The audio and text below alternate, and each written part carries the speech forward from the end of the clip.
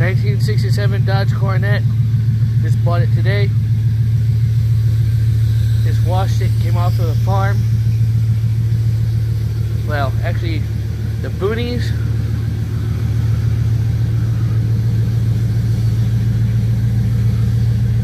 This is the state, it, or the state it is in right now.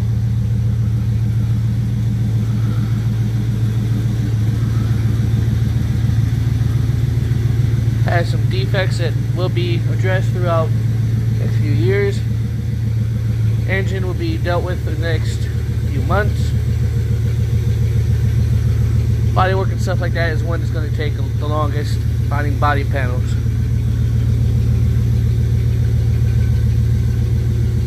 I couldn't resist, I had to get it washed. This is the biggest problem I see is this body panel right here. Got a big trunk. I'll show that tomorrow in another video.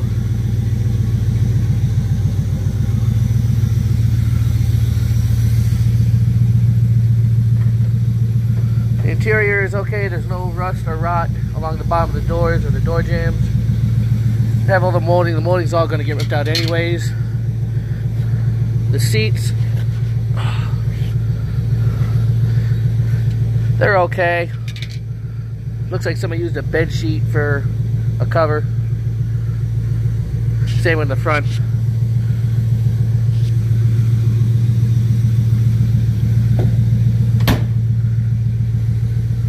Doors are solid.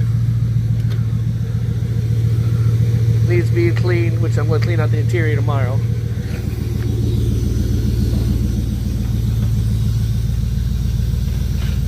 Oh, let me put this down a second.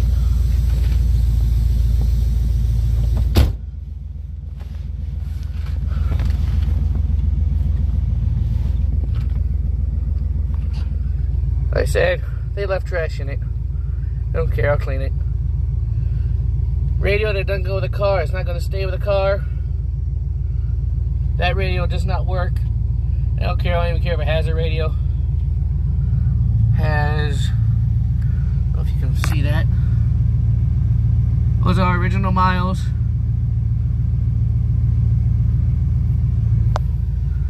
Glass is all intact.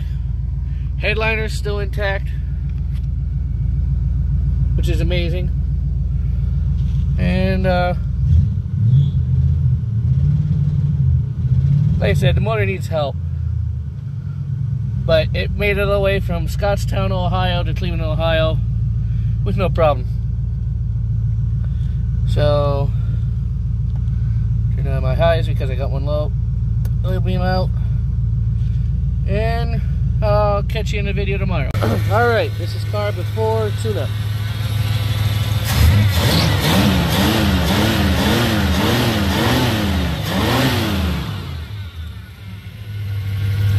I ran significantly better than it did yesterday. I had a serious miss. Ran a couple gallons of premium, so I'm hoping that cleared it up. Had like a dead cylinder, didn't seem to have it anymore. Found a hydraulic leak for the uh, power steering pump.